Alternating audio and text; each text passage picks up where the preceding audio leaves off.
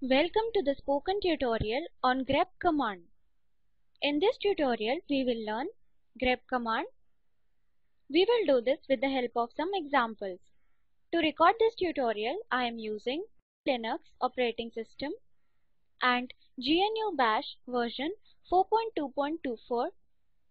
Please note GNU Bash version 4 or above is recommended to practice this tutorial. As prerequisites, you should know basics of Linux terminal. For relevant tutorials, please visit our website which is as shown. First, let us know about regular expressions. Regular expressions are pattern matching techniques. When we have to find out whether a pattern exists in a line, paragraph or a file. For example, if you want to search a phone number in the telephone directory or to find a keyword in a paragraph or a line, we use grep command. Let us move on to grep. grep searches for one or more patterns in one or more line, paragraph or a file. If file name is not mentioned, grep search for the patterns in the standard input. If file name is missing, grep searches for the patterns in the standard input. I will demonstrate usage of grep using a demo file called grepdemo.txt. Let us see the content of the file. This is a file that has 13 entries. Each entry has 6 fields roll number, name, stream, marks and stipend amount. The fields are separated by a bar which is called a delimiter. Let us see how grep works. Say we want to use grep command to see who are the students in the computer stream. For this, we have to open the terminal. Now type on the terminal grep space within double quotes computers after the double quotes space grepdemo.txt. Press enter. This would enlist those entries where stream is computers. Now compare the result with the original file. Come back to our text editor we see that the entry for Zubin is not enlisted. Why this is so? This is because grep searched for the pattern computers with small c, while for Zubin the stream is computers with a capital C. The pattern matching is case sensitive. To make it case insensitive, we need to use the minus i option with grep.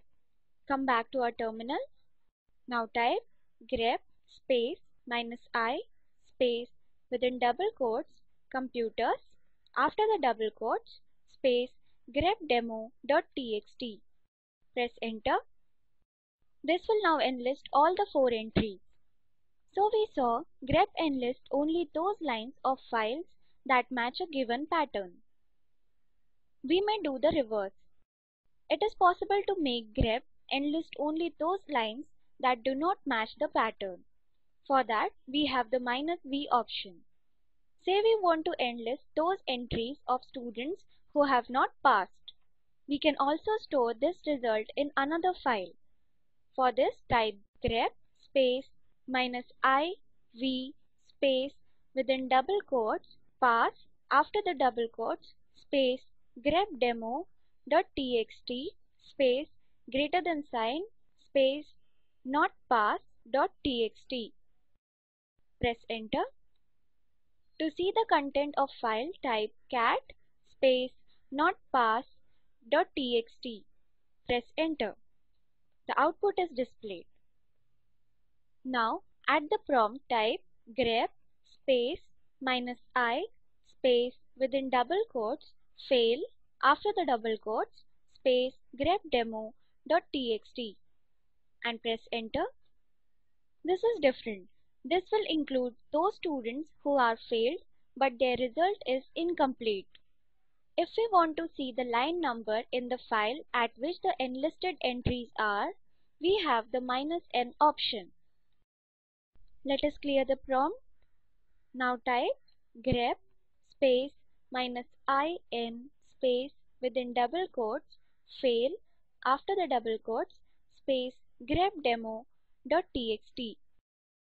Press enter. The line number is displayed. The patterns so far have been of single word. We may have multi-word patterns as well, but the entire pattern must be within quotes. So type grep space minus i space within double quotes Ankit space Saraf after the double quotes space grep grepdemo.txt. Press enter.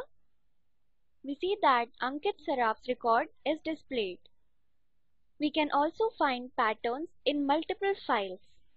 For this, type grep space minus i space within double quotes fail after the double quotes space grepdemo.txt space not notpass.txt. Press enter. The output is displayed. With multiple files, grep will write the name of the file in which entry was found grepdemo.txt, notpass.txt. These are the records from notpass.txt file and these are the records from grepdemo.txt file. Suppose we may only want to know the number of matches or count. For that, we have the minus c option. So type grep space minus c space within double quotes fail with a capital F after the quotes space grepdemo.txt. Press enter. This will give us the count of numbers of lines matched. This brings us to the end of this tutorial. Let us summarize. In this tutorial we learned to see the content of a file, example cat file name, to list the entries of a particular stream, example grep computers, grepdemo.txt, to ignore cases, example grep minus i computers, grepdemo.txt, lines that do not match the pattern, example grep minus iv pass grepdemo.txt, to list the line numbers with the entries, example grep minus in fail grepdemo.txt. To store the result in another file, example grep minus iv pass grepdemo.txt greater than sign not pass.txt and to know the count, example grep minus c fail grepdemo.txt. As an assignment, explore some other commands like minus e, plus and question mark. Watch the video available at the link shown below. It summarizes the spoken tutorial project. If you do not have good bandwidth, you can download and watch it. The Spoken Tutorial Project team conducts workshops using spoken tutorials, gives certificates to those who pass an online test. For more details, please write to contact at the rate spoken-tutorial.org. Spoken Tutorial Project is a part of the Talk to a Teacher project. It is supported by the National Mission on Education through ICT, MHRD, Government of India. More information on this mission is available at the link shown below. This is Ashwini Patel from IIT Bombay signing off. Thank you for joining.